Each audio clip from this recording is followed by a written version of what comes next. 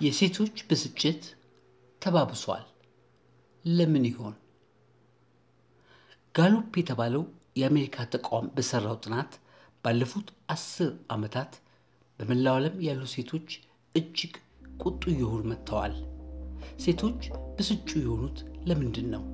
ብስጭቱስ ከየት መጣ? ታሻ ረኔ ከሁለት ዓመት በፊት ተሰምቷት የማያውቅ ቁጣ አስተናግዳለች። ጓዳ ሳለች ድንገት ድምጿን ከፍ አድርጋ በጥልቀት ጮኸች። ብዙ ጊዜ በቀላሉ በሳጫለሁ፣ የዚያን ቀኑ ስሜት ግን የተለየ ነበር ትላለች። የኮሮና ቫይረስ ወረርሽኝ መላውን ዓለም ያሸበረበት ወቅት ነበር። ለሀያ ደቂቃ ገደማ ያበሳጯትን ነገሮች እየመዘገበች ነበር። ከዚያ ድንገት ጮኸች።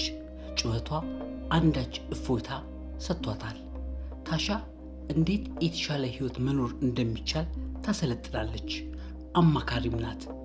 ጓዳዋ ውስጥ ከጮኸች በኋላ ሴቶችን በዙም እየሰበሰበች ታወያያለች። የሚያበሳጫቸውን ነገሮች ገልጸው እንዲጮኹ ሴቶቹን ታበረታታለች።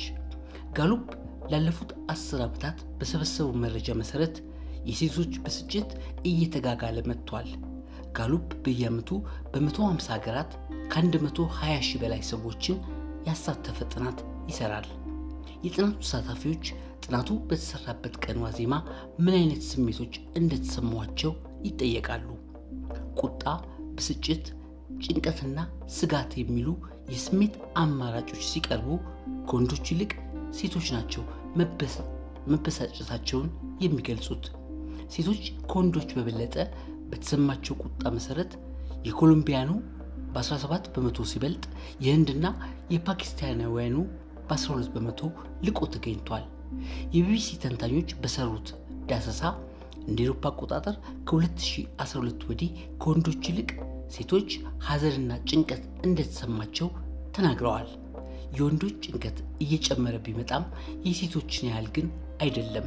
በ2012 ወንዶችና ሴቶች ላይ የሚስተዋለው ቁጣና ጭንቀት ተመሳሳይ ነጥብ ላይ ነበረ። አሁን ግን የሴቶች በስድስት በመቶ በልጧል። መጠኑ በወረርሽኙ ወቅት ጨምሮ ታይቷል።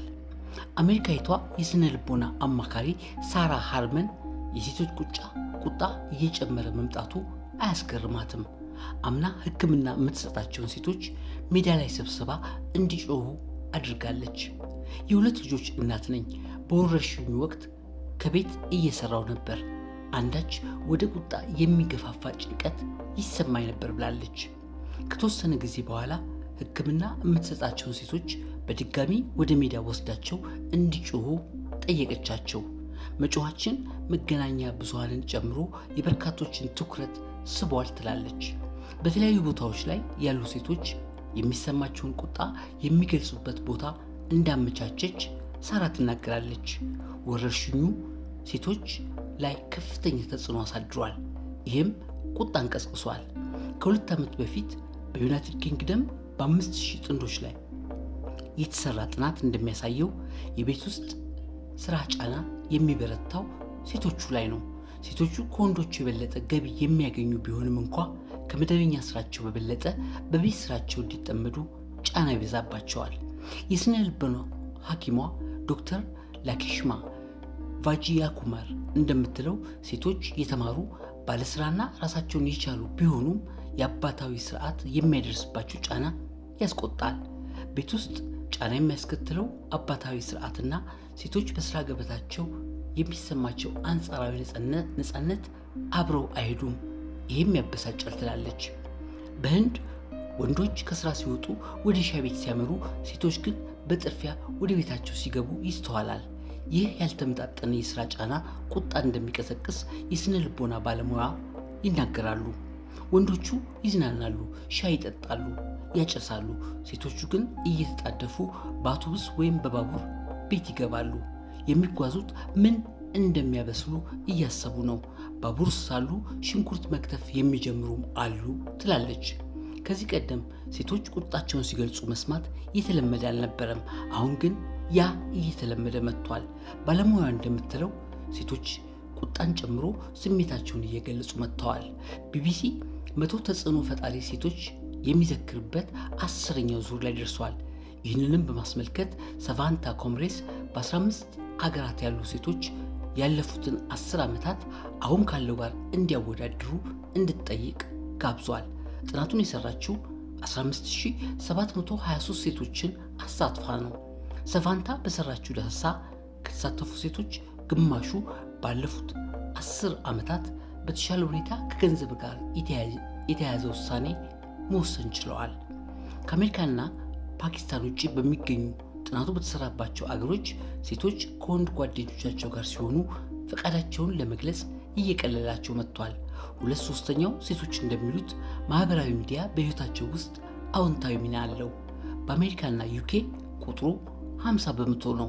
ጥናቱ ከተሰራባቸው 15 ሀገራት በ12ቱ ከሚገኙት ሴቶች 40 ባለፉት 10 ዓመታት በሕይወታቸው ለውጥ ያዩት ስሜትን በነፃነት ከመግለጽ ጋር በተያያዘ ነው። አሜሪካ ጥናቱ ሲሰራ ከተሳተፉ 46 በመቶዎቹ ባለፉት 10 ዓመታት ጽንስ በማቋረጥ ጽንስ ማቋረጥ ከባድ እንደሆነ ይናገራሉ። የሥነ ጾታ አቀንቃኝ እና ጸሐፊ ሶራያ ቼማሊ Rage Becomes Her የተባለ ስለ ሴቶች ቁጣ የሚገልጽ መጽሐፍ አሳትማለች። የአገልግሎት ዘርፍ ውስጥ በብዛት ያሉ ሴቶች እንደሆኑና ኮሮና ቫይረስ በይበልጥ የጎዳው ይህንን ዘርፍ እንደሆነ ትናገራለች። ከወረርሽኙ ጋር በተያያዘ በተፈጠረው ቀውስ የበለጠ የተጎዱት ሴቶች የሆኑትም ለዚህ ነው። እነዚህ ስራዎች የሚከፍሉት አነስተኛ ቢሆንም ሴቶች ሳይታክታቸው እንዲሰሩ ይጠበቃል። ይህ ደግሞ የታመቀ ቁጣና ብስጭት ይፈጥራል ትላለች። ከአሜሪካ ጋር ሲነጻጸር በብራዚል፣ በኡራጋይ፣ በፔሩ፣ በቆጵሮስ እና በግሪክ ያሉ ሴቶች ከፍተኛ ቁጣን ገልጸዋል።